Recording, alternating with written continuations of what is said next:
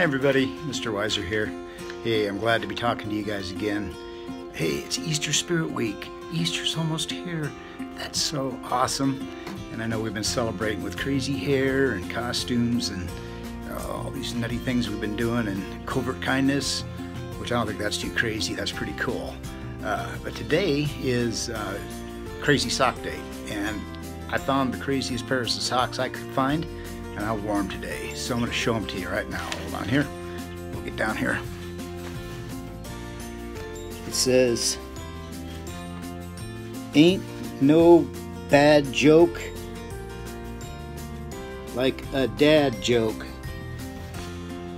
I don't get it. I mean, it's supposed to be funny, I think, but it makes no sense to me. Um, so if one of you guys can explain it to me, please do because it doesn't make any sense. Ain't no bad joke like a dad joke. I don't know what that means. But anyway, you know, this Easter week, I'm lucky because I have Thursday. And it was the Thursday of Easter week when um, Jesus and his 12 apostles celebrated the Passover.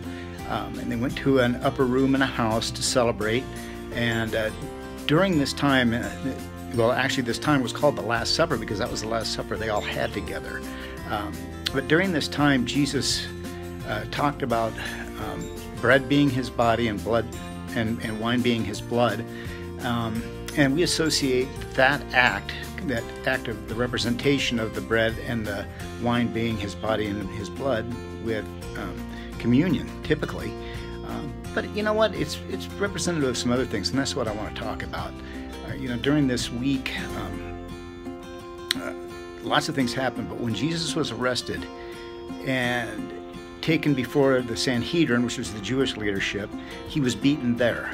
Um, then, when he was uh, taken in front of the foreign governor, Pontius Pilate, uh, and he was found guilty uh, because Jesus, uh, he wasn't guilty, and Pilate knew it, but Pilate didn't know what else he could do. So uh, Jesus then was scourged, which was whipped with, I mean, it was worse than whipping, okay? Jesus was beaten, and then he was made to carry his own cross, um, which was terribly excruciating, so much so that he fell three times and had to have help. Uh, and then he was crucified with nails in his hands and a sword in his side and uh, suffered greatly there. And he did all this for us. Um, but let me read to you the scripture, and I think you'll understand why I think it, it means more than just what we typically think about it for, with uh, communion, okay? And this is in Matthew 26, is 20, verse 26 and 27. Uh, while they were eating, Jesus took the bread, and when he had given thanks, he broke it and gave it to his disciples, saying, Take and eat, this is my body. Then he took a cup, and when he had given thanks, he gave it to them, saying, Drink from it, all of you. This is the blood of the covenant, which is poured out for many for the forgiveness of sins. Not only is that a picture of Jesus and a way to remember him, but it's also a picture of what he's going to suffer for us. His body will be broken. He was beaten, he was whipped, he was made to carry the cross, he had nails put in, and blood was spilled.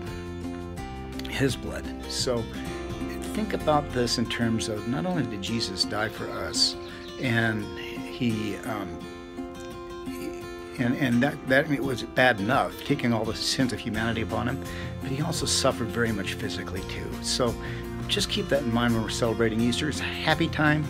It's a wonderful time to say he is risen, but he did go through a lot, much more so than we really think about.